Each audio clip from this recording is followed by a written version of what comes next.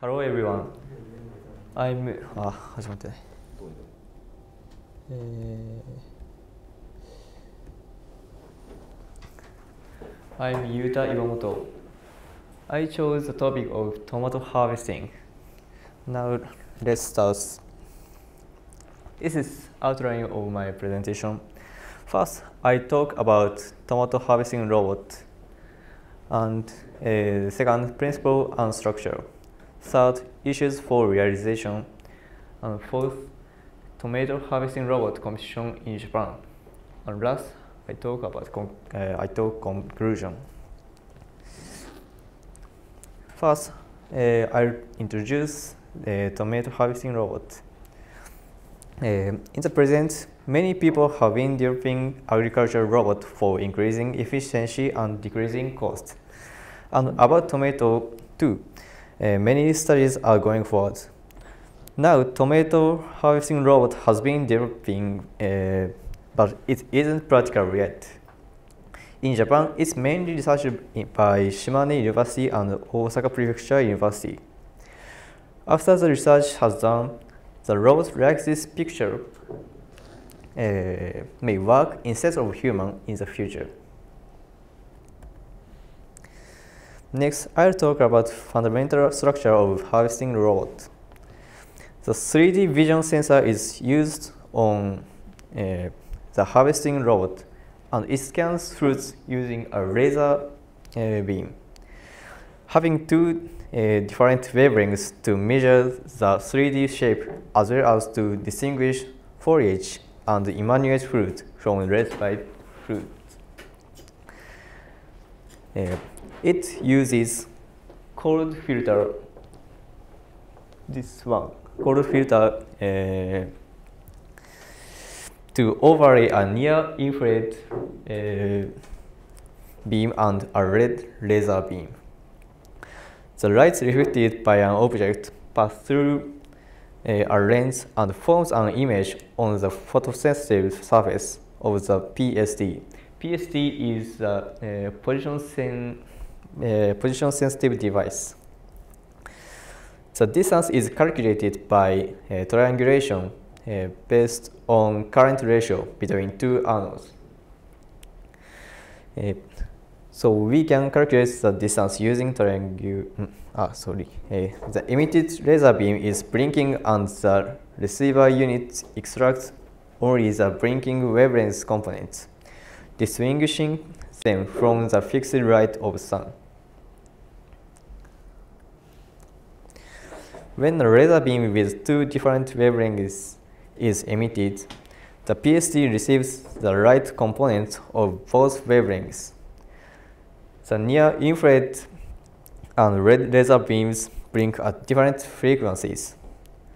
As shown in uh, this figure, foliage and fruits all reflect the uh, near infrared laser beam well, but forage and immaculate fruits have a low red laser beam reflectance. Red fruits are detected by the 3D image processing program based on this principle. This figure shows an example of the 3D vision sensor, which scans uh, with near infrared and red laser beams. This unit is being used in research for multi multifunctional robot for tomato cultivation, which trains vines and defoliates as well as harvesting. The 3D vision sensor is attached to the end of the arm. On its own, the sensor is capable only of vertical scanning. Next, I'll show the result of the image processing. Cherry tomato fruits grow in clusters as shown in the left figure. The center figure is a representation of pixels of the object uh, located within a certain range. Based on voltage differentials between the near infrared and red light signals, pixels with greater and red values are shown as a white and all others are shown gray. Third, I'll talk about issues for realization. many issues to be resolved. Uh, one, A work in narrow field. The field is crowded with fruits and stalks. They have to recognize the complex field and change light condition. They recognize the fruits by unreflected light, but when the field is little dark or well lighted, they have to do their jobs as usual. usual. And tomatoes with different positions and orientations. If a tomato uh, is hidden by other tomatoes or stalks, they have to find and harvest it. And harvest with calyx intact. It is not necessary, but when it's put on sale, it seems better. Harvest without damage, especially cuts and scratches. That's the same reason. And last, autonomous. It is uh, difficult uh, to be solved, but it's necessary for amount harvesting. Uh, competition to encourage practical development and solve the issues, Kyushu Institute of Technology holds the competition this year. They should seek the development of uh, collecting many ideas.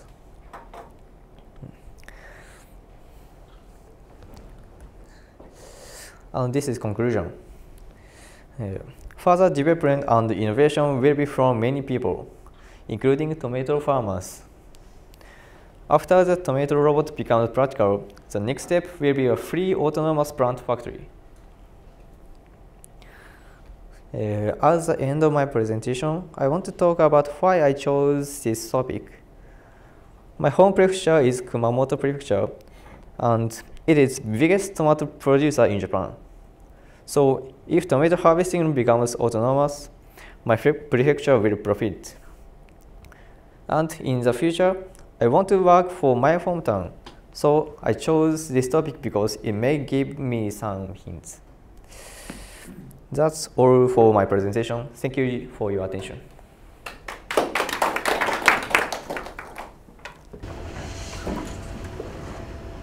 Are there any questions?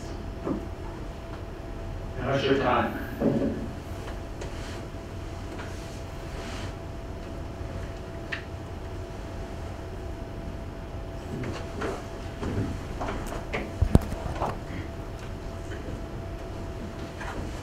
Thank you for your presentation.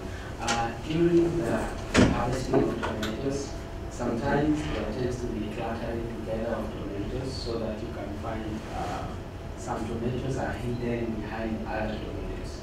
So how I uh, how do you take good images to ensure that uh, when uh, training maybe the algorithm or the robot, you are able to get uh, even the hidden tomatoes, like sometimes there is one tomato here, another tomato behind it. So how are you able to get good images or good imaging positions so that you can be able to pick out all the tomatoes using the robot? Thank you. Um, I think uh, before harvesting, uh, the robot so sees the tomatoes image, and after harvesting, uh, the robot have to check uh, uh, that all tomato is completely harvested. Uh, that's uh, maybe um, that solves the problem, I think. Thank you. Any other question?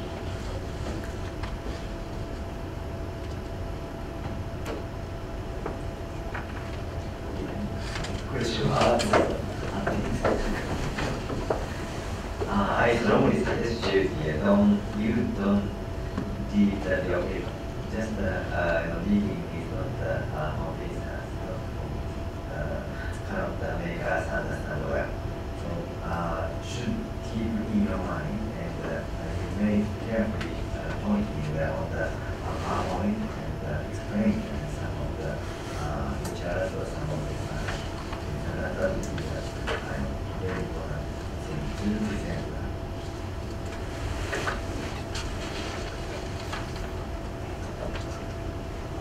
Are there any questions in, into you?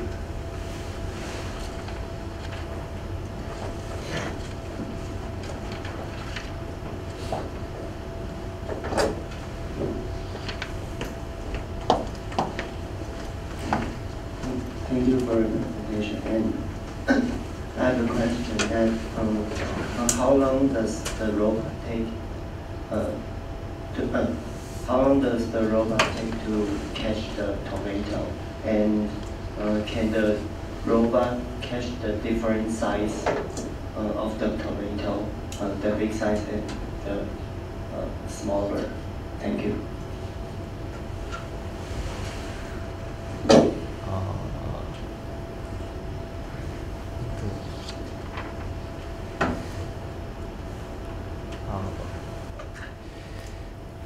You mean how can the robot catch uh, different size tomatoes or uh, First question is, how long does it take the robot to identify and then pick uh, uh, tomato?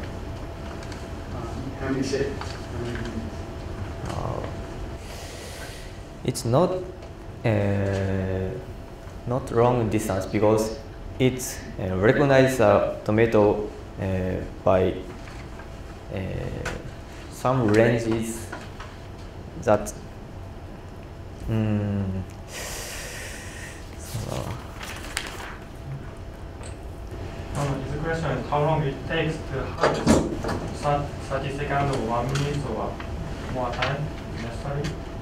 a long time uh, I uh,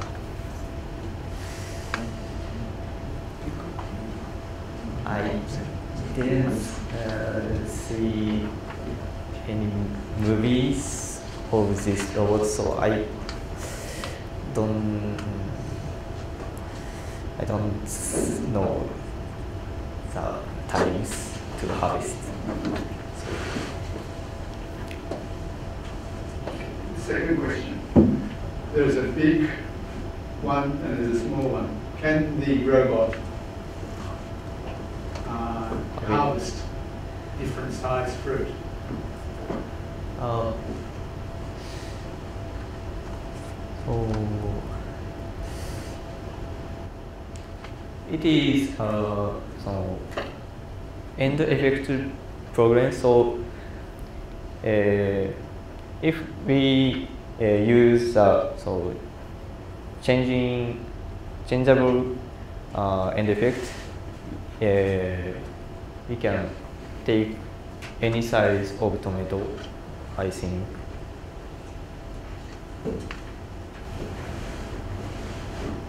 Does that answer your question? Okay, thank you. No, no questions and comments from Taiwan. Okay, thank you.